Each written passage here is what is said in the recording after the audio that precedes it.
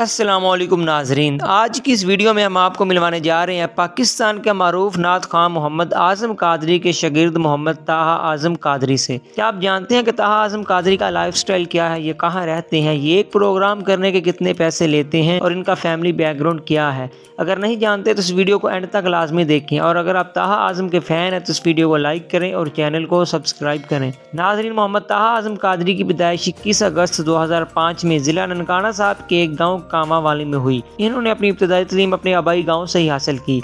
नाजरीन, ताहा आज़म कादरी की फैमिली में इनके माँ बाप के अलावा दो भाई भी हैं। इन्होंने अपने करियर का आगाज़ स्कूलिंग लाइफ से किया। ये जब आठवीं क्लास में थे तो इन्होंने नात पढ़ना शुरू कर दी और बहुत से मुकाबला जात में हिस्सा लेकर अच्छी पोजीशन हासिल की, जिससे इनके शौक में मजीद इजाफा होता गया। ये नात खानों में सबसे ज़्यादा मोहम्मद आज़म कादरी को पसंद करते थे और इनके पढ़े हुए कलाम सुनते थे। फिर एक दिन ताहा आज़म कादरी को आज़म कादरी की शगिर्दी इख्तियार करने का मौका मिला और उनके शिगिरद हो गए। अब तहा आज़म कादरी अपने एल्बम भी रिलीज़ करवा चुके हैं।